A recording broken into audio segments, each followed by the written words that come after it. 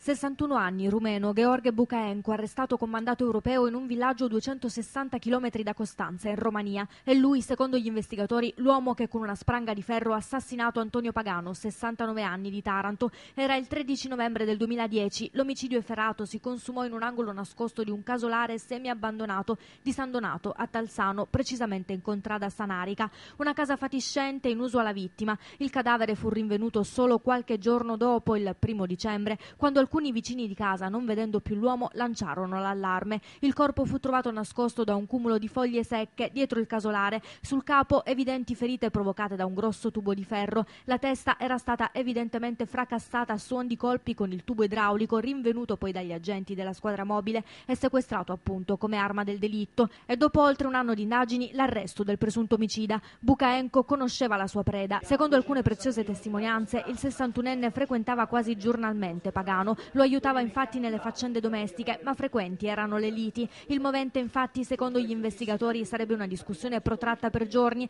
Il rumeno avrebbe chiesto a Pagano di costruire una dependance nella sua proprietà per andarci a vivere con la compagna, rumena anche lei, trentenne, estranea ai fatti. Oltre alle testimonianze, indizio importante che ha fatto stringere il cerchio attorno al nome di Bucaenco è stata l'auto, una Fiat Uno di proprietà della vittima. Dopo l'omicidio il presunto killer ha preso il mezzo per fuggire. Secondo le rilevazioni degli investigatori l'auto è passata prima dalla Basilicata, poi dalla Calabria ed è stata infine abbandonata a Caporizzuto, nella provincia di Crotone, primo temporaneo rifugio del 61enne, località dove l'uomo, prima di lasciare l'Italia, ha preso contatti con un gruppo di concittadini. Con Bucaenco, spiega il dirigente della squadra mobile di Taranto, Roberto Pititto, abbiamo preso un soggetto pericoloso, già condannato per un altro omicidio in Romania, per il quale ha scontato 20 anni di carcere. Uscito di cella e venuto in Italia, era infatti a Taranto da poco tempo per reiterare il crimine. Non solo, atteggiamenti aggressivi aggressivi spesso erano riservati anche alla sua compagna. Il PM che ha eseguito le indagini, il procuratore aggiunto Graziano, ha contattato la polizia rumena e dopo un ultimo periodo di osservazione il caso si è chiuso con l'arresto, cui seguirà l'estradizione.